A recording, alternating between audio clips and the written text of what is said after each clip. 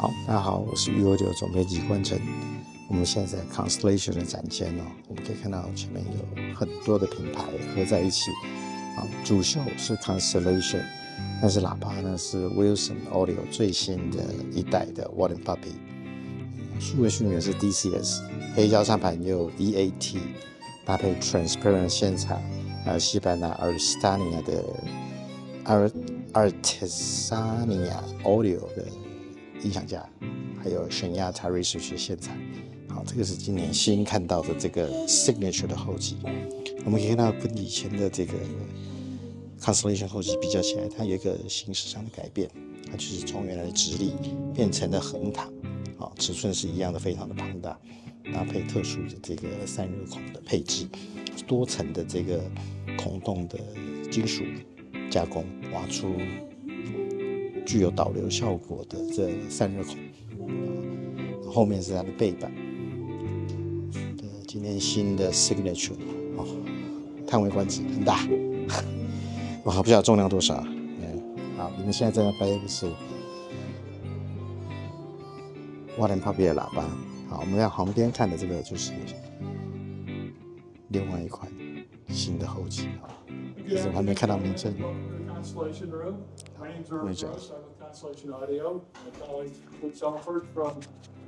Greensboro, North Carolina, all the way to Munich to be with you today. Uh, I'd like to share, take a couple minutes to share with you the system that you're hearing. This is the world premiere of the latest electronics from Constellation Audio the source. We've got two sources. On the analog side, we play the EAT. This is the Fortissimo S turntable with the JOS cartridge. And when we play vinyl, it goes into the Revelation Series 2 phono stage. From there, the signal goes into the Revelation preamp and then the Revelation stereo amplifier. This produces 250 watts per channel and it's driving the new Wilson Sasha V's. On the digital side, what we're using uh, and what we'll be playing is the DCS Rossini with the Apex module and the clock. All of the interconnects come from our friends in Transparent Audio, and the power conditioning comes from Shinyata, power conditioning and power cables. Uh, if you have any questions, we're here to answer them, but uh, let's listen to some music. Gentlemen wanted to hear some Melanie Gardot, so one way to start. 完成，我现在在大理，在开放展区的入口。好，我们往这边走进来，直接看到他们现在最高阶的哈，就是 Core 啊，这个是目前大理旗下最昂贵的旗舰落地喇叭。可是我们看到的这一对呢，有点像是新的概念机。什么叫概念机哈？因为它的颜色是很特殊的绿色啊，这个绿色以前 d a l y 从来没有做过哈。那他们现在呢，正在思考这个 concept，就是可能的话会帮客户提供这个定做颜色的这个服务哦。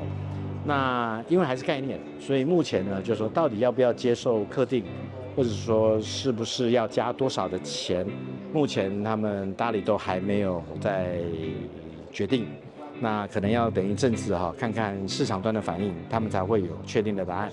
不过今年呢，比较大的改变就是 Epic Core 系列推出，那这是以前最畅销的 Epicon 系列，哦。